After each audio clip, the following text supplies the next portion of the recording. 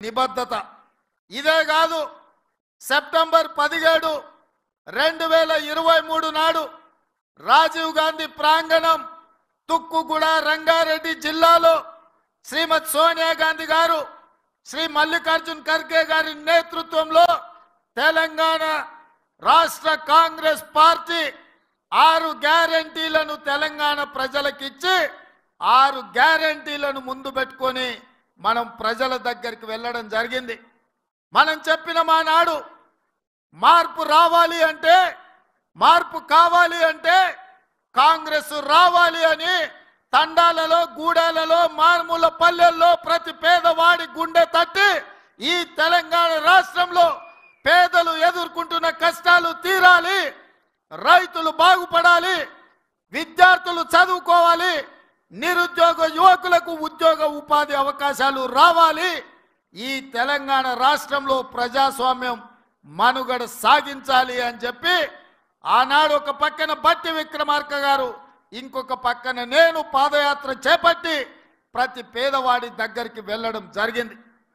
సీతక్క సమ్మక్క సార్లక్క నుంచి సీతక్క నేతృత్వంలో నేను పాదయాత్ర మొదలు పెడితే బట్టి విక్రమార్క గారు ఆదిలాబాద్లో నుంచి పాదయాత్ర మొదలు పెట్టడం జరిగింది. ప్రజల దగ్గరికి వెళ్ళినాం. పార్టీ విధానాలు వివరించినాం. కాంగ్రెస్ అధికారంలోకి వస్తేనే పేదల బతుకులు బాగుపడతాయని ప్రజలకు చెప్పినాం. ప్రజలు విశ్వసించిండ్రు ఆరు గ్యారంటీలను నమ్మిండ్రు ఆరు గ్యారంటీలను దృష్టిలో పెట్టుకొని కాంగ్రెస్కు అధికారాన్ని కట్టబెట్టిను అందుకే డిసెంబర్ మూడు రెండు వేల ఇరవై మూడు నాడు కాంగ్రెస్ గెలిస్తే డిసెంబర్ ఏడు నాడు మనం ప్రభుత్వాన్ని ఏర్పాటు చేసినాం. వేలాది మంది ముందు ఎల్బి స్టేడియంలో ప్రమాణ స్వీకారం చేసినాం. నలభై ఎనిమిది గంటలు కూడా ఆగకుండా శాసనసభ సమావేశాలను ఏర్పాటు చేసి మొదటి రెండు గ్యారంటీలను డిసెంబర్ తొమ్మిది రెండు వేల ఇరవై మూడు నాడే ఆడబిడ్డలకు ఆర్టీసీలో ఉచిత బస్సు ప్రయాణాన్ని అందిస్తామని ఇవాళకి ఎనభై ఐదు కోట్ల మంది ఆడబిడ్డలు ఈరోజు పొన్నం ప్రభాకర్ గారి నేతృత్వంలో ఉన్న రవాణా శాఖలో ఈ రోజు ఉచితంగా బస్సులలో ప్రయాణం చేస్తున్నారు. ఇదే కాదు పేదవాడికి వైద్యం అందించాలి సర్కారు దవాఖానకు పోతే మళ్ళీ వస్తాడో రాడో అనే అనుమానం ఉన్న రోజుల్లో UPA one Shri Y S Rajasekhara Reddy గారి నేతృత్వంలో రాజీవ్ ఆరోగ్యశ్రీ రెండు లక్షల రూపాయలు ఉచిత వైద్యాన్ని పేదోళ్ళకు అందించాలని ఆనాడు రాజీవ్ ఆరోగ్యశ్రీ పథకాన్ని మొదలు పెడితే చంద్రశేఖరరావు వచ్చిన తర్వాత కాంగ్రెస్ పార్టీకి పేరు వస్తుంది. రాజీవ్ గాంధీ పేరును పేదలు తలుచుకుంటారని కుట్రతోని రాజీవ్ ఆరోగ్యశ్రీని నీరు గార్చడం జరిగింది.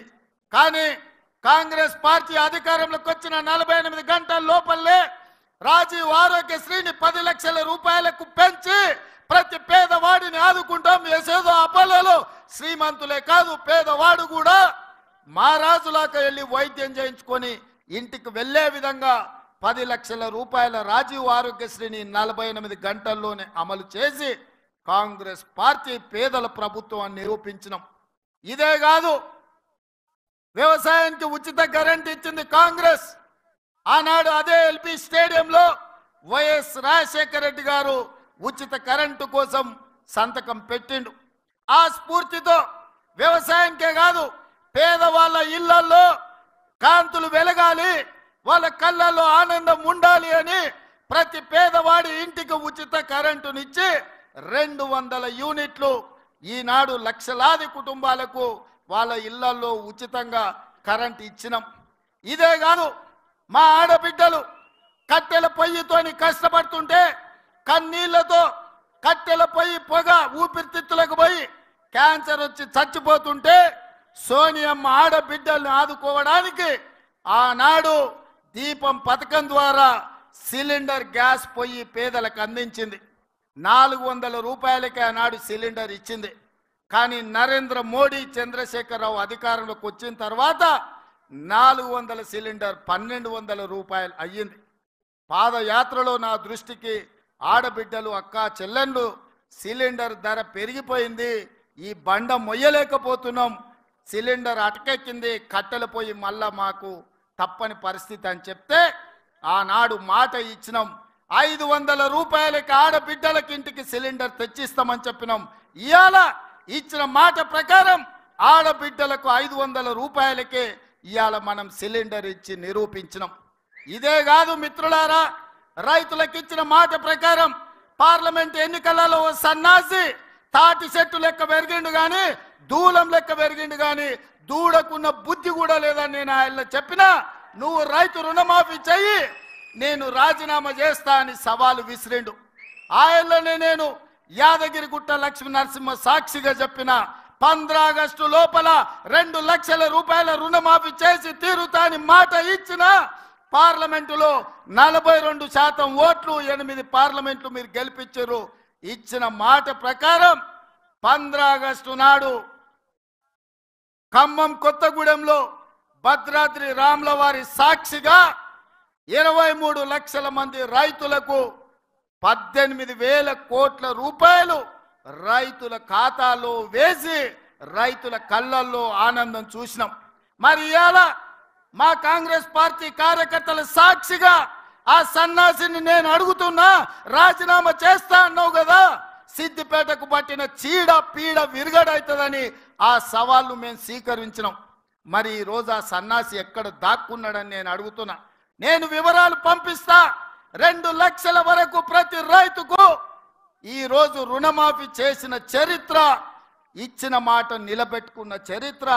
పంద్ర ఆగస్టు నాడు పండగ ఉన్నా కార్యక్రమాలు ఉన్నా ఇచ్చిన మాట ప్రకారం మేము వెయ్యాల్సిందే అని మూడు విడతలు ఇరవై ఏడు రోజుల్లో పంద్ర ఆగస్టు లోపల రెండు లక్షల లోపల రుణమాఫీ అందరికీ చేసినాం. ఇవాళ రెండు లక్షల పైన ఉన్న రైతులు ఎవరు ఆందోళన చెందాల్సిన అవసరం లేదు. రెండు లక్షల పైన రుణమా ఉన్నవాళ్ళు రెండు లక్షల పైన ఉన్న రుణాన్ని మీరు బ్యాంకులో చెల్లించండి. మీరు చెల్లించిన మరుక్షణం ఆ రెండు లక్షల రూపాయలను కూడా మీ ఖాతాలో వేసే బాధ్యత మా ప్రభుత్వం తీసుకుంటుందని చెప్పి నేను ఆ రైతాంగానికి తెలియజేస్తున్నా. ఇదే కాదు పెద్దలు ఉత్తమ్ కుమార్ రెడ్డి గారి నేతృత్వంలో ఉన్న సివిల్ సప్లైస్ కార్పొరేషన్ ద్వారా రైతులకు ఐదు వందల రూపాయలు వడ్లకు బోనస్ ఇస్తామని చెప్పినాం. రాబోయే పంటలో రైతులు పండించే సన్న వడ్లకు ఐదు వందల రూపాయలు బోనస్ ఇస్తామని ప్రకటించినాం. దానికోసం రెండు వేల కోట్ల రూపాయలు ఈ రోజు బడ్జెట్లో కేటాయించినాం. ఉత్తమ్ కుమార్ రెడ్డి గారి నేతృత్వంలో సన్న వడ్లు పండించిన ప్రతి రైతుకు ఐదు వందల రూపాయలు బోనస్ ఇచ్చి ఆదుకునే ప్రభుత్వం మాది. ఇది రైతు రాజ్యమని నేను ధైర్యంగా నేను చెప్పగలను. అందుకే మిత్రులారా ఇదే కాదు తెలంగాణ ఉద్యమమే నిరుద్యోగ సమస్య. తెలంగాణ త్యాగాలే ఉద్యోగ సమస్య. పది సంవత్సరాలు ఎవరికి ఉద్యోగాలు ఇవ్వలే నిరుద్యోగుల సమస్య పట్టించుకోలే. పాదయాత్ర సందర్భంగా నిరుద్యోగ యువకులకు కాకతీయ ఉస్మానియా యూనివర్సిటీ విద్యార్థులకు నేను మాట చెప్పిన కేసీఆర్ కేటీఆర్ ఉద్యోగం ఊడగొట్టండి. వేలాది ఉద్యోగాలు మీకు ఇచ్చే బాధ్యత నాది అని. ఆ మాట ప్రకారం కేసీఆర్ కేటీఆర్ ఉద్యోగాన్ని మీరు ఊడగొట్టినరు తొంభై రోజుల్లో ముప్పై వేల ఉద్యోగాలు ఇదే ఎల్బీ స్టేడియంలో ఇందిరమ్మ పాలనలో కాంగ్రెస్ ప్రభుత్వం ఉద్యోగ నియామక పత్రాలు నిరుద్యోగులకు ఇచ్చింది. ఇదే కాదు ముప్పై వేల నియామకాలనే కాదు ముప్పై ఐదు వేల ఉద్యోగ నోటిఫికేషన్లు ఇచ్చినాం. ఇవాళ పోటీ పరీక్షలకు నిరుద్యోగులు ప్రిపేర్ అవుతున్నారు. ఈ సంవత్సరం ఆఖరు లోపల ఇంకొక ముప్పై ఐదు వేల ఉద్యోగాలు ఇచ్చే బాధ్యత మాది అని చెప్పి ఈ సందర్భంగా నిరుద్యోగ యువకులకు నేను మాట ఇస్తున్నా. ఇదే కాదు మొదటి సంవత్సరంలో అరవై ఐదు వేల ఉద్యోగాలు ఈ దేశంలో ఏ రాష్ట్రం కూడా నిరుద్యోగులకు ఉద్యోగ అవకాశాలు ఇవ్వలేదు. అదొక్క తెలంగాణ రాష్ట్రంలోనే మనమే ఇచ్చినామని గర్వంగా నేను ఈ సందర్భంగా తెలియజేస్తున్నా. అందుకే మిత్రులారా ఇవాళ మీరు ఆలోచన చేయండి. ప్రభుత్వం అద్భుతమైన కార్యక్రమాలు తీసుకొని ఈరోజు నిరుద్యోగ సమస్యను పరిష్కరించుకుంటూ టీచర్ల ట్రాన్స్ఫర్లు పది సంవత్సరాలు పది కాదు పద్దెనిమిది సంవత్సరాలు జరగలేదు. ముప్పై ఐదు వేల మంది టీచర్లను బదిలీ చేసి పంతొమ్మిది వేల మంది టీచర్లకు ప్రమోషన్లు ఇచ్చి వాళ్ళ సమస్యలు పరిష్కరించిన చరిత్ర కాంగ్రెస్ పార్టీది. పాఠశాలల్లో విద్యుత్తు లేక కంప్యూటర్లు ఇచ్చినా బిల్లులు కట్టక వాళ్ళు కంప్యూటర్లు వాడలే. అందుకే పాఠశాలల్లో ఉచిత విద్యుత్తునిచ్చి చదువుకునే విద్యార్థిని విద్యార్థులను ఆదుకునే ప్రయత్నం చేసినాం. ఇదే కాదు చదువుకుని డిగ్రీ పట్టా పొందినా సరైన ఉద్యోగం వస్తలేదు. డిగ్రీలు చేతులు పట్టుకొని నిరుద్యోగులుగా తిరుగుతున్న వాళ్ళకు సాంకేతిక నైపుణ్యాన్ని నేర్పించాలి అని యంగ్ ఇండియా స్కిల్స్ యూనివర్సిటీని ప్రారంభించి ఈ రోజు దేశానికి ఆదర్శంగా నిలబడ్డ రాష్ట్ర ప్రభుత్వం ఏదైనా ఉంది అంటే అది తెలంగాణ రాష్ట్ర ప్రభుత్వం. ఇదే కాదు మన